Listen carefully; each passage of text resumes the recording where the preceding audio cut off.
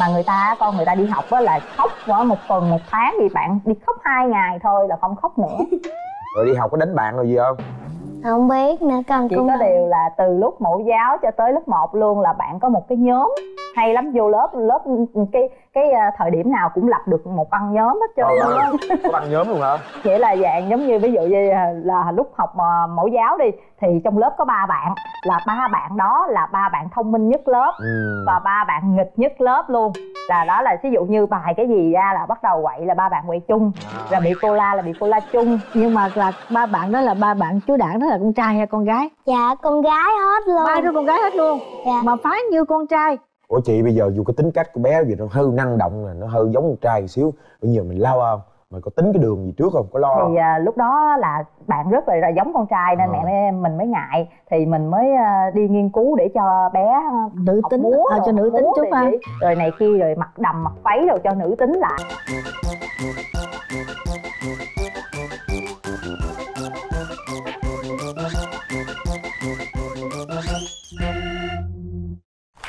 đó đó. Con chào quý vị khán giả. Con tên là Misa Khả Hơn Ừ. dạ biệt danh của con là nữ hoàng ứng xử. Trời ơi tại sao vậy? Tại sao là nữ hoàng ứng xử vậy nè? Dạ con được biệt danh là nữ hoàng ứng xử bởi vì con nói cái gì con cũng trả lời được. Đó Ồ, giờ xin dạ. mời mẹ ngồi nè. Bây giờ bé giới thiệu đến 3 tiếng đồng hồ chị ngồi đi. Con ơi ngoài khả năng ứng xử thì mình có khả năng gì nữa nè? Dạ con có khả năng là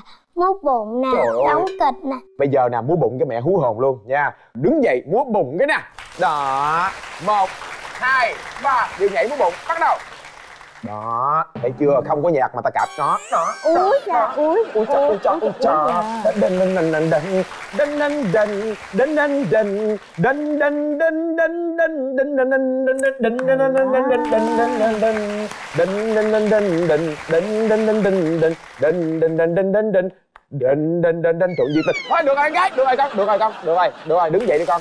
Đó đứng dậy. Thấy kìa mẹ thấy rồi bộ thấy mặc đồ mà lên nhạc lên mà ren đồ tua đồ cái bà múa 3 tiếng đồng hồ.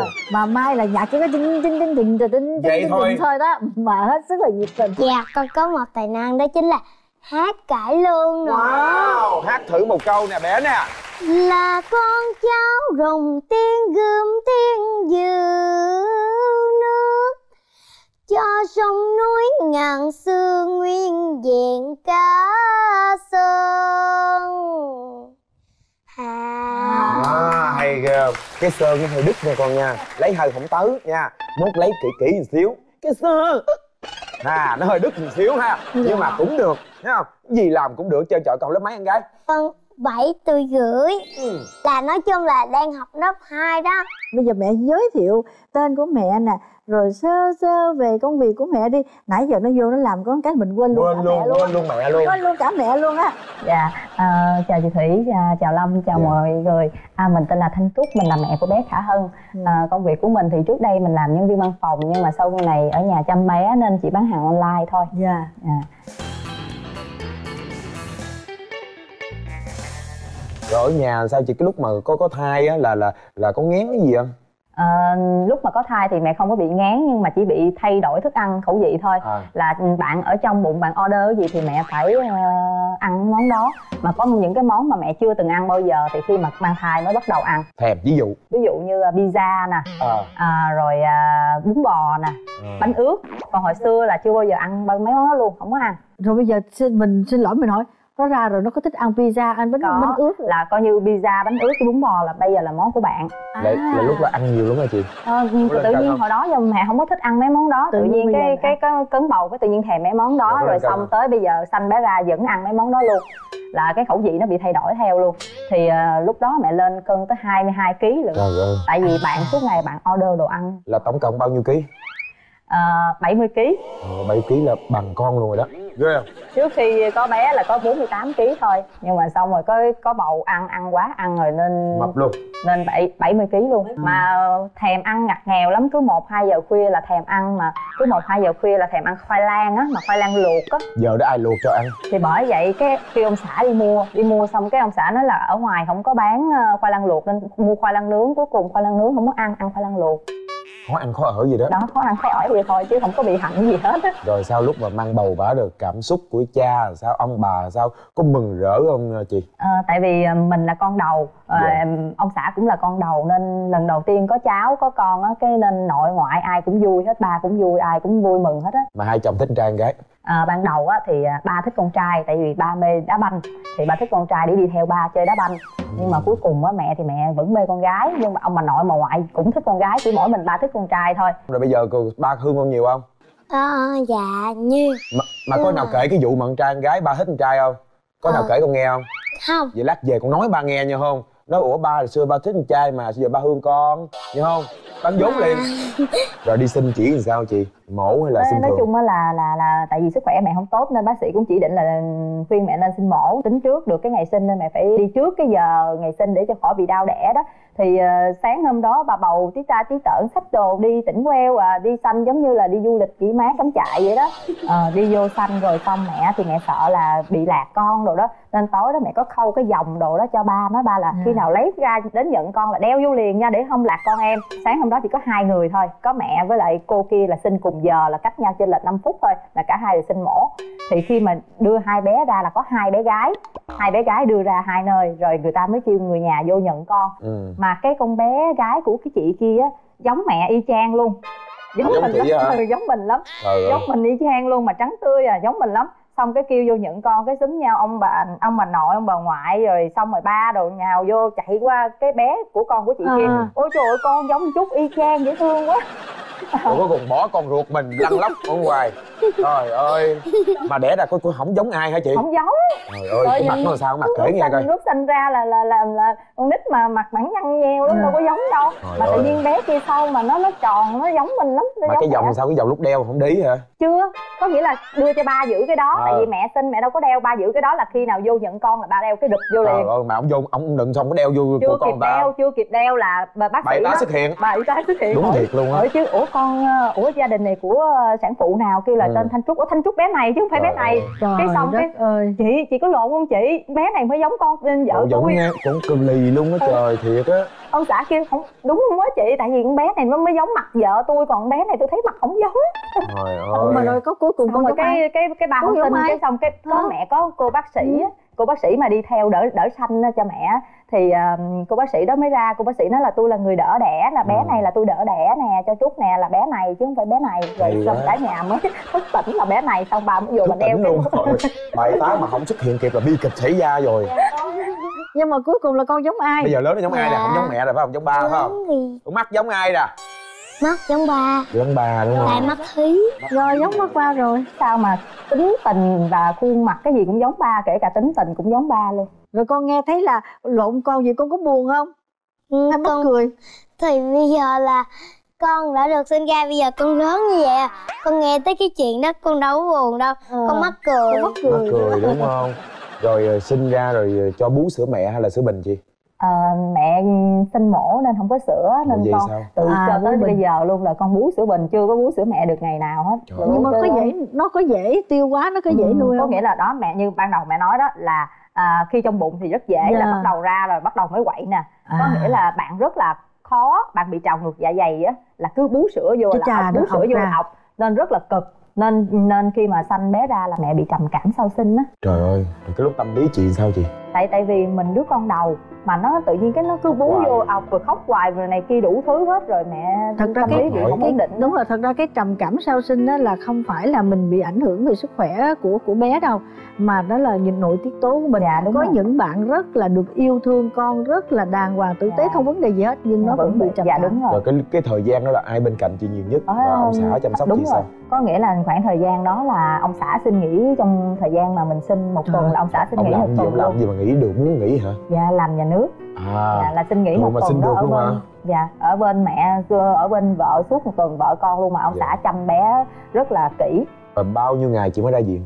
Ờm, khoảng chừng 7 ngày Dạ. 7 ngày là mình xuất viện là bắt đầu cái ngày hôm mà xuất viện mình khóc quá trời khóc Sao luôn tại khóc? bị Lý bị trầm Vì trầm cảm. bị trầm cảm khóc quá rồi không có lý do tự khóc hả? Tự nhiên khóc gì đó khóc quá rồi khóc luôn. Tại vì mình chuẩn bị về nhà mẹ để ở một tháng đó để ở cử đó tự nhiên cảm giác giống như xa chồng vậy đó cái tự nhiên cái khóc quá trời khóc trầm cảm à. Xong đưa về ở với mẹ ở được mới có hai tuần à rồi con ọc sữa rồi đủ thứ này kia hết rồi không có chồng bên cạnh cái cảm thấy thiếu hụt ba không có ba khó chịu lắm cái khoảng hai tuần là về ở lại với ba. Nên là con con thay nghe mẹ kể về vấn đề là sanh con rồi con bị ọc sữa rồi mẹ bị trầm, cảm, rồi vậy đó. mẹ khóc. Quá là thế con có muốn mẹ sanh em bé nữa không? Thôi nghỉ đi cô. Nghĩ đi cô đi cô. tại sao nghĩ con? Tại sao nghĩ tại nè vì á con thì không có sợ bị ra rề nhưng mà Ờ, con con thấy sinh em bé nó cực quá. Mất công á cái mẹ sinh cái mẹ ngủ trong đó cái mất công mà ngủ ở nhà không được ngủ với mẹ nữa. Mắc công. Vậy mà không sợ ra rìa. À? mất công à, ngủ chung đó với em để con mình. Vậy mà không sợ ra rìa. Cái này biết nói sớm không hả mẹ? Ờ, bạn á chỉ là biết đi sớm thôi biết đi sớm lắm mới khoảng uh, 10 tháng mấy là đi rồi. À. Là hồi xưa là bỏ lật bỏ trường được hết không có trường không có lật gì hết là chỗ bắt đầu Đúng biết đi. ngồi biết À, ngồi biết ngồi. Biết ngồi trước rồi xong rồi khoảng chừng 10 tháng mấy là bắt đầu biết đi. Vẫn vậy được đi. Đó là biết đi. luôn. Là tới thôi nôi là chạy vòng vòng vòng vòng trong nhà hàng rồi. Mà chưa nói gì á? Là không nói bạn chậm nói bạn khoảng 2 tuổi mấy mới nói lần chú cha nói biết Ờ. nói rồi xong rồi nói kinh hồn đúng không? Ờ đó. Mà có nghịch ngợm ở nhà có phá phách đồng chị hoài nói có nói nghịch vậy ngợm mẹ nói hồi bạn ra bạn quậy lắm bạn quậy như con trai bạn nghịch lắm thì ờ, có lần á là năm đó bạn 3 tuổi mẹ nhớ là bạn chạy xe từ trong nhà chạy xe đạp mà xe đạp mình bốn bánh luôn không thể Dạ. nào ngã được hết. Nhưng mà giữa cái cửa nhà với lại cái ngoài sân nó có một cái bậc Ờ, là bạn rồi. phóng từ ngoài đây bạn phóng ra ngoài luôn và ngã xe gãy tay bó bột. Trời ơi. Ơi. Bé đi thi xe đạp vượt địa hình đó. Mà chưa tập được gãy tay luôn hả? xe bốn bánh đó. Bao nhiêu tuổi đi học nhà trẻ rồi? Ờ, 2 tuổi là mẹ cho đi học rồi tại vì ở nhà nghịch quá quậy quá nên mẹ chịu không nổi. Rồi đi học vậy bị ờ, bắn vốn không? Chiều nào chiều nào về cô cũng trời ơi bạn quậy quá. Mà người ta con người ta đi học á là khóc mỗi một tuần một tháng thì bạn đi khóc hai ngày thôi là không khóc nữa. Rồi đi học có đánh bạn rồi gì không?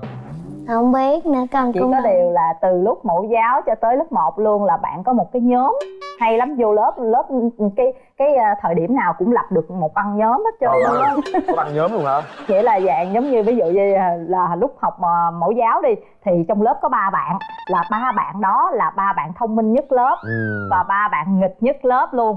Là đó là ví dụ như bài cái gì ra là bắt đầu quậy là ba bạn quậy chung rồi bị cô la là bị cô la chung. Nhưng mà là ba bạn đó là ba bạn chú đảng đó là con trai hay con gái? Dạ con gái hết luôn. Ba đứa con gái hết luôn? Dạ. Mà phái như con trai ủa chị bây giờ dù cái tính cách của bé gì nó hơi năng động nè nó hơi giống con trai một xíu. Bây giờ mình lo không? Mày có tính cái đường gì trước không? Có lo không? thì à, lúc đó là bạn rất là, là giống con trai nên Ờ. mẹ mới, mình mới ngại. Thì mình mới à, đi nghiên cứu để cho bé à, nữ tính múa à, cho nữ tính chút ha. rồi này kia rồi mặc đầm mặc váy rồi cho nữ tính lại thì à, sau này cái năm ba tuổi á, mẹ cho vô thử thử cái lớp mà múa. Thì vô thử các lớp thì tới lớp múa bụng thì bạn chịu học. Học múa xong bây giờ điệu rồi đó nhưng mà cái tính năng động vẫn năng động. Bây giờ không chịu mặc quần là chỉ thích mặc váy thôi. À, thích mặc váy thôi đúng Đó. không? Không nhật quần. Đó. Thôi nhưng mà có nhiều khi á có cái yếm giống vậy nè mà có quần nó ờ, nó dễ thương một tí thì con chịu. Với lại nó có màu hồng nên là con thích là con chịu. À chú lâm thấy con tham gia rất là nhiều chương trình luôn rồi. Vậy cái ý định của mẹ là có có muốn hướng ờ, bé đến nghệ thuật không? Thực sự luôn là ban đầu là tất cả ba và ông bà nội ông bà ngoại không ai muốn mẹ cho bé theo nghệ thuật hết. Ừ. mẹ thì mẹ cũng không cố tình sắp xếp con theo nghệ thuật nữa. Và chỉ là vô tình ờ, gió đưa gió đẩy thì con đi vậy thôi à. Thường á là mình có con mình hay gửi thi thi sao nhí này sao nhí nọ vậy đó mình hay gửi thì cái năm đó con 3 tuổi mẹ có tham gia một cái chương trình là người mẫu nhí 2015 đó. Thì à, bắt đầu thi bạn mới vô top bạn mới vô top rồi bạn thi năng khiếu rồi này kia bạn mới đoạt giải làm thí sinh nhỏ tuổi nhất mà tài năng nhất gì đó. À. dạ rồi bắt đầu từ lúc đó rồi mới xong rồi tới năm ba tuổi rưỡi là ừ, có cái chương trình bạn có thực tài đó Ừ. là bắt đầu bạn tham gia chương trình bạn có thực tài rồi bắt đầu từ đó dấn thân vô 4 tuổi là bạn bạn có thi cái chương trình gọi là siêu mẫu nhí nữa Ừ. là năm 4 tuổi bạn thi siêu mẫu nhí là bạn được quán quân năm đó luôn Wow. con thi cái cái kỳ thi đó dính nào không cái tiết mục nó như tiết mục nào gì không con nhớ lúc đó là con thì chỉ là múa bụng thôi. Có dòng biểu diễn thời trang dòng ứng xử một dòng là bé tự chọn trang phục ừ. và tư vấn về cái bộ đồ trang phục của mình. Rồi một một cái nữa là gì à, Tài năng năng. khiếu. Tài năng năng khiếu. Nhưng mà đến lúc vô như vậy là đi thi thố rồi đi diễn diễn game show gì rồi có mình mẹ ba còn ông bà có ủng hộ không Ờ, có ai đi theo giữ nó phụ nó cho mình không? Tại tại vì ờ, ban đầu thì không ai ủng hộ mẹ hết. Ừ. nhưng mà cho đến ngày thấy con giống như là ờ, lên họ xem tivi á mọi người xem tivi Thấy thấy thích cười cứ xe về coi này kia thích thấy À. dễ thương nên cuối cùng ông bà nội ông bà ngoại thích. Nhưng mà à. nhưng mà ông bà nội bà ngoại cũng lớn tuổi rồi nên cũng không ai đi theo được hết nên mẹ phải bỏ công việc mẹ đi theo con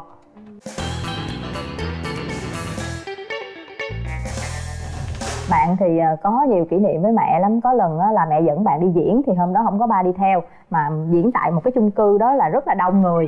Thì bạn lên đang sân khấu diễn thì mẹ mới đứng dưới mẹ quay phim mẹ mới nói là "Ờ, khi nào con diễn xong là con xuống con đứng ngay cái cầu thang ngay cánh gà đó là con đứng ở đó đợi mẹ để mẹ xuống mẹ mẹ ờ, đón con. Vừa bạn vừa chào khán giả cái mẹ ốp máy mẹ chạy xuống liền là mẹ tìm là không thấy bạn đâu trời hết. ơi.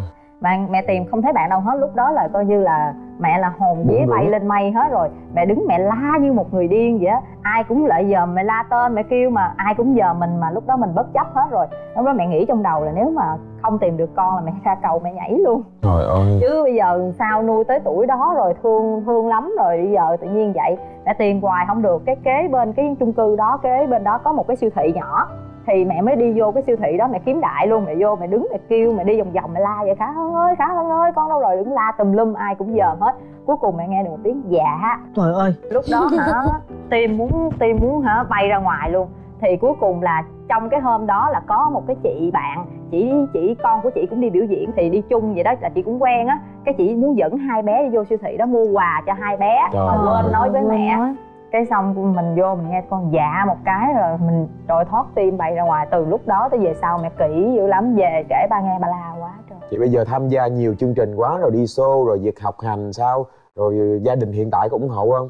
Ờ, hiện hiện thì con mới học lớp 2 thì cái việc học hành nó mới từ 2 năm nay thì mới bắt đầu sắp xếp ổn định thôi.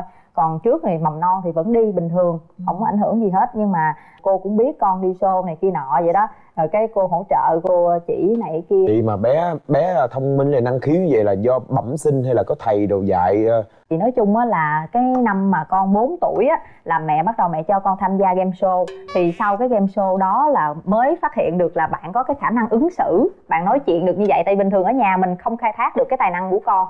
Mình cũng không biết là bạn có được cái gì. Chương trình đó là có à, giám khảo là anh Hoài Linh chị à, Thanh Hằng à, anh Thanh Bạch với lại Quân Lê đó thì có có bốn vị giám khảo đó thì sau cái chương trình đó anh Bạch mới thấy bé Hân dễ thương quá nên Ừ. anh Bạch mới nhận Khả Hân làm giống như là học trò vậy đó. dạ. dạ học trò thôi để ờ, dẫn Khả Hân đi show này kia nọ đó thì cái sau đó anh Bạch cũng hay gọi show cho Khả Ừ. Hân đi con có con có thần tượng chứ anh bạch về cái vấn đề gì không Ờ, vấn đề đó chính là ca hát nhảy múa cái gì cũng được đúng không ngồi ngồi ngồi nhanh nhẹn sân khấu ứng biến đủ mọi thứ luôn rồi về sau con là con nuôi của của ba hứa minh đạt. Năm con à, 5 tuổi thì con tham gia cái game show thì cái game show đó là Hứa Minh Đạt với Lâm Vĩ Dạ là huấn luyện viên. Sau cái game show đó tự nhiên cảm thấy là hai gia đình hợp với nhau chơi dễ thương á với lại à, tự nhiên cái Đạt á rất là cảm thấy là có thiện cảm với cả Hân cái nhận cả Hân làm con nuôi. Đó nên sau cái game đó là năm sau nữa mình mới chơi một cái game khác nữa là cha hai cha con chơi chung đó. À. Dạ. Vậy à, à, có nào mà con quan gặp anh xá xị bánh mì được không? Dạ có. Vậy hả? Rồi con có thường qua nhà ba hướng đạt không? Có. À vậy bây giờ bây giờ chú lâm điện cho cho ba thưa hướng đạt thử coi hỏi ba hướng đạt coi ba hướng đạt có thương con không? Rồi có có cái gì mà ờ, phiền lòng không? Được không? Dám không? Ok. Ok luôn rồi này giờ ba đạt đang làm gì ta. Alo? Ủa em chào anh hướng đạt anh khỏe không vậy? Anh khỏe. À chị đến không ồ ai vậy? Xíu bánh mì hay xíu mại vậy? Giọng bánh mì. Bánh mì hả? Trời ơi, anh hướng đạt anh nghe mà giọng coi anh biết ờ, bà con thân thiết gì không? Nãy giờ có một bé nó nhận á là hả à, con của anh mà không biết phải không? Rồi cái em điện lại em xác minh. Nha hai cha con nói chuyện thử cái coi. Chào ba rồi, rồi. alo ba đạt. Ba đang làm gì vậy? Ủa giờ ba đang làm gì vậy? Ba đang ở nhà với lại bánh mì đó chị Ủa, con đang làm cái gì đó cả hơn ba có nhậu không? Ba có nhậu không? Trời ơi trời ơi cái này lên sống mà nhậu không? Đó nhậu quá. Con cũng định nói với ba đạt cái này nè là ba con á bây giờ hai mẹ con con đang đi quay. Và ba con đang ở nhà buồn lắm. Thì với lại ba đạt rủ ba con qua nhậu chơi cho vui. Trời ba con nhậu yếu lắm mẹ con có nhậu dữ. Trời ơi ghê thiệt. Mẹ con có là dân chơi thứ thiệt ừ, mẹ con đi quá trời xong có thân hình giống con luôn á. Cũng đúng. Ba đạt có thấy con đẹp không? Trời ơi cái này đi để hỏi anh bánh mì nha. Anh bánh mì thấy cả thôi khỏi đi. Anh bánh mì nha là bánh xá xị thấy hải hơn sao dạ thấy lạ lạ. Là thôi con được rồi đúng rồi đó. rồi xong rồi đó. Ba có dặn dò gì con không? Ba có dặn dò gì con không? Ba có dặn dò gì con không? Ừ con nhớ là giữ gìn sức khỏe đi đâu cũng phải về nhà rửa tay nghe chưa? Dạ ba cũng vậy nha. Dạ con cảm ơn ba đạt nha. Ừ, rồi con quy vui nha. Dạ em Dạ. cảm ơn anh đạt nhiều. Dạ gia đình em cảm ơn anh. Con chào ba đạt. Dạ mốt em điện dạ mốt cái em điện điện lại nhanh nha. Tốn tiền quá hai cha con tâm sự mà không được gì tốn tiền em nhanh nha nha. Con ơi mốt mình điện là mình tự lấy điện thoại mình điện nha. Ờ Ừ. dạ. Tại vì hai cha con tâm sự lâu quá mà điện thoại chú lâm hết tiền. Ước gì có ai cho mấy trăm ngàn nạp điện thoại con không có tiền đâu nha. Trời ơi cái tiền ai giữ Thế nè? con đi show nhiều quá không có tiền trời hả ơi ngộ đi xô mẹ giữ chân hả con? Đi show là mẹ ký hợp đồng xong cái là mẹ cầm tiền lên. Ghê thiệt có như mẹ giữ hết luôn. ừ. nhưng mà có một lần con được lì xì vào ngày tết Rồi. thì con lì xì cái xong con chắc chắn con sẽ biết là mẹ sẽ ém bao nhiêu? Lấy của con nên là Dạ con sao? lên con lấy cái ống heo của con xuống cái con lột ra cái con thấy à ok cái xong con lấy bút chì ghi vô giấy tên của người đó. Có nghĩa là bạn lấy tiền đó bạn lên bạn bỏ heo luôn cho xong luôn cho À. lẹ đi để mẹ khỏi tịch thu. Ghê thiệt trời ơi nó nói nhiều nhức nhà nhức đầu không? Đúng rồi đó trời ơi, mẹ chỉ mệt bạn lắm là bạn nói suốt ngày mẹ chạy xe chở bạn ngoài đường chạy Cũng xe nói. mà kẹt xe này kia tùm lum. Cái gì cũng nói mà hỏi hoài cái gì cũng hỏi mẹ sao cô kia mà ngồi xe không dịnh giờ té là sao? Cái chuyện gì cũng hỏi hết. Có con có phong, một ôi câu cái nét xung phong này gặp ở đâu rồi nè? Thiệt có số nào đó. Ừ, xung phong là có rồi sao con? Con có một cái câu hỏi rất là lạ đó chính là ông mặt trời với ông mặt trăng ở quận mấy? Hả nó đang mẹ đang chạy xe mà hỏi mẹ mẹ ông mặt trời ông quật chân ở quận mấy vậy? Nói làm sao mẹ biết được con? Ừ. mẹ nói thôi về hỏi ba đi ha mẹ đang tập trung chạy xe À. cho mẹ nghỉ ngơi 5 phút đi con. Cái xong cái bạn cho nghỉ 5 phút. cố gắng con dừng phải cố gắng. Mẹ ơi bây giờ con cho mẹ nghỉ 5 phút nha. Cái xong mẹ nghỉ xong á cái mẹ trả lời cho con nha. Nha nha mẹ.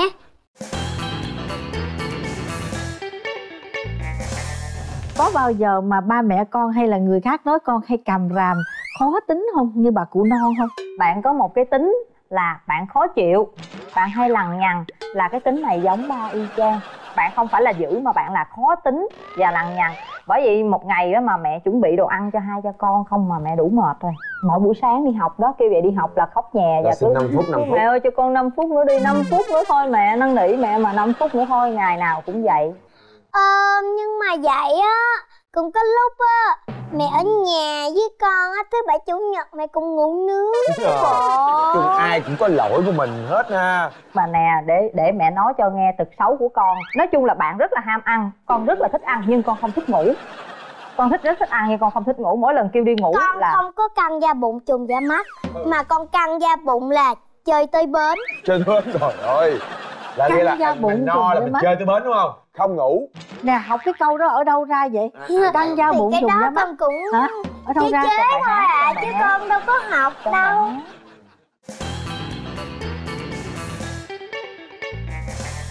con nếu như ngày hôm nay thà, tại chương trình này con có một lời gì muốn nói với mẹ con sẽ nói lời gì với mẹ nè con sẽ nói lời là mai mốt mẹ đừng có giữ với con nữa. Đừng có giữ nhà mẹ chửi con hả con? bớt giữ. Mẹ chửi con sao vậy? Trên sóng truyền hình. A a Ôi như vậy ơi. đó Ờ. cái xong về nhà là lật mặt ra. Thôi trời đất ơi con tắm xong chưa hả?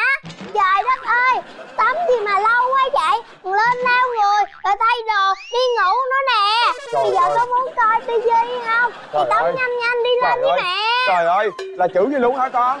Vậy mà lên đây thì sao con lên đây thì sao lên sống tivi thì sao Còn con? nếu như mà con tắm lâu hơn xíu thì con bước ra cái xong có cái chuyện gì đó nó hoài hoài á mà con hơi lười lười một tí xíu á thì cái xong mẹ nói là rồi bây giờ mẹ hành động nè cái mẹ xách cái cây ra. Trời ơi vậy đó hả con? Vậy mà lên sống hiền diệu đáng yêu dễ thương đúng không con? Dạ. Rồi nè ờ, ở nhà chị có hay ờ, góp ý cũng như là có những lời với bé không? Và thay mặt chương trình này chị có ờ, đôi lời gì muốn nhắn nhủ đến đứa con gái yêu dấu của mình? À, nói chung á là hả à, bạn là đứa con đầu của mình nên mình Dạ. cũng đặt nhiều hy vọng ở bạn lắm. Dạ. thì con được cái là con tự lập con tự lập nên con cũng không, không có phiền mẹ nhiều tự À. ăn tự hết này kia nhưng mà có cái á, là con muốn sở hữu mẹ riêng à con muốn sở hữu mẹ riêng là có nghĩa là con không muốn chia sẻ mẹ cho bạn bè hay cho ai hết đúng rồi Đó. rồi em thì sau này thì sao thì đó mẹ bây giờ hiện tại là bây giờ là vậy đó nên mẹ mẹ chỉ muốn con thay đổi á À. là mình dễ chịu chút nhẹ nhàng chút xíu cho mẹ ờ, có nghĩa là khi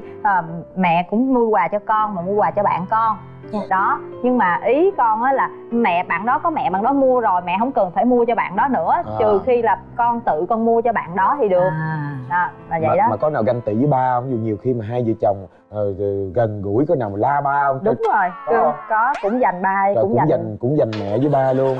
Nói chung là ngày hôm nay hai mẹ con đến đây cũng như là chia sẻ những ờ, khoảnh khắc đời thường cũng như là ờ, những kỷ niệm của hai mẹ con. Xin cảm ơn chị cũng như là cảm ơn bé Khả Hân rất là nhiều đã tham gia chương trình.